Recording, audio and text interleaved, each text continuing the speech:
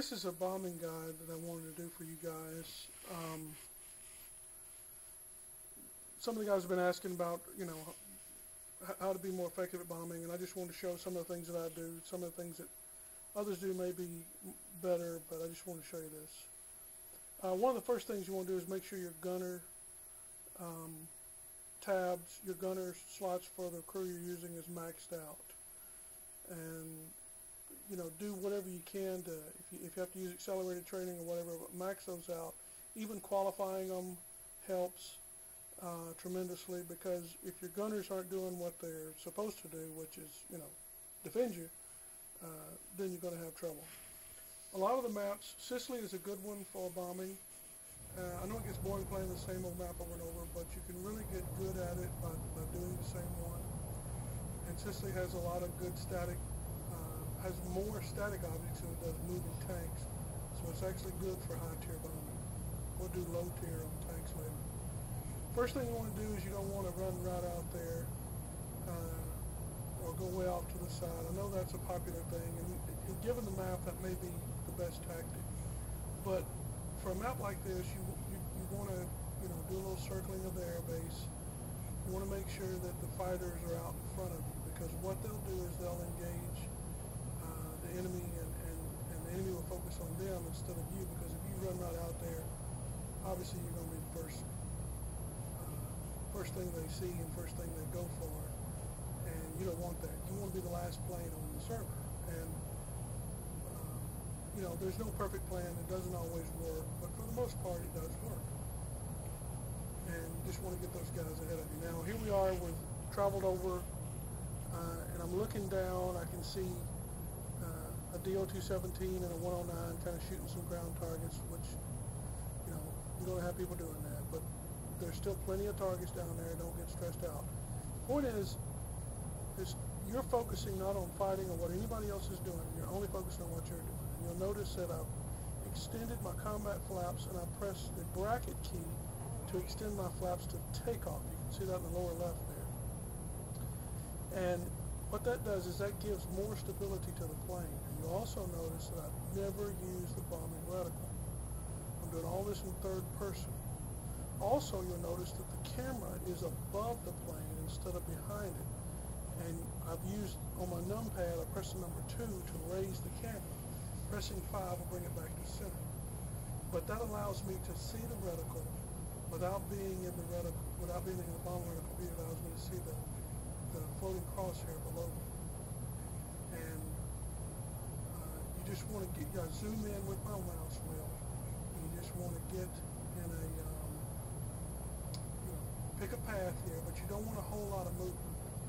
So you're, you're patient, and you'll notice we start out with 18 bombs, and there's the first drop. Now, I missed uh, the next few, but that's okay. There's more across the lake.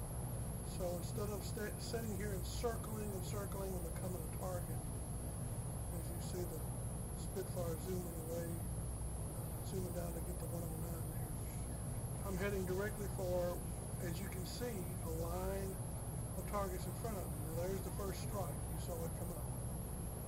Um, and I wasn't that accurate. And, and for whatever reason, this type of uh, using the third-person view, um, you don't have to be dead center. With the reticle, it seems like you have to be dead center. This way you don't. You'll notice I nose down. Uh, you also want to keep an eye on your altitude at all times. And you'll know you're flying flat, flat and level when the altitude doesn't go up or down. So you want to keep that in mind. Because flying with the camera up above you can sometimes be disorienting. So get used to tracking your altitude. And I just went across there. I just picked a flight path that didn't have a whole lot of turns, hitting whatever was, was available. You're going to start to see, uh, you also notice the is not dead center to those. So let's see here. Let's see how many I got. Um, we'll have to wait for it. Now we get the indication that the enemy has destroyed all our spotter planes. And basically what that means is if you get too far away from the ground targets, you just won't see the little red icon. You'll have to be really close to them to see them. But in that run, we now have 10 strikes, but only remember I only had 18 bombs, which means two of those bombs took out two targets, and these are 250 pound bombs. They're really not that huge. But the point being is we didn't have to kill ourselves trying to be super super accurate. Um, we were able to, to, to get multiple strikes with two bombs. So um, we're doing pretty good now. Obviously, uh, with the with the uh, spotters being down, I can't do a whole lot. But here's I've got a fighter on me, got a Spitfire on me.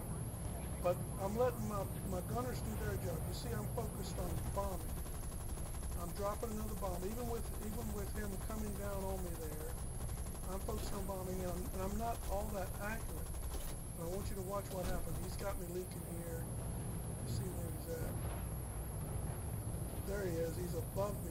Now, the only reason I'm looking because I just want to see way. There was I recorded another hit. It's 13. That means I got three more, even under duress and under attack. And of course, you know what's coming out. He set my engine on fire.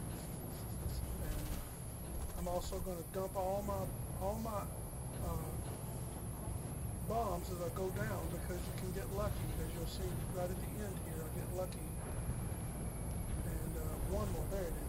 Got lucky with one more strike. So I got 14 uh, out of 18, and a couple of those were multiple, multiple hits.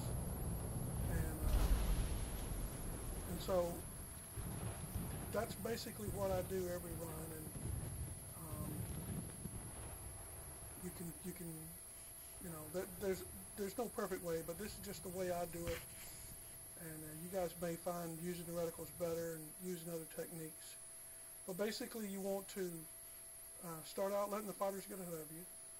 When you get near the bombing reticles, the second step is you want to put out your combat flaps and hit your bracket and put down your takeoff flaps. That's two stages. That gives you more stability. And just focus on the bombing.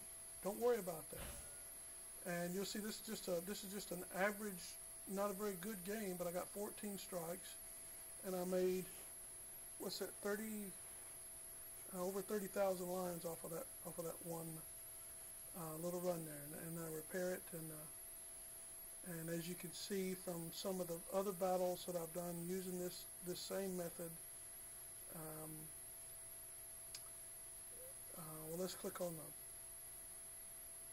battles tab there.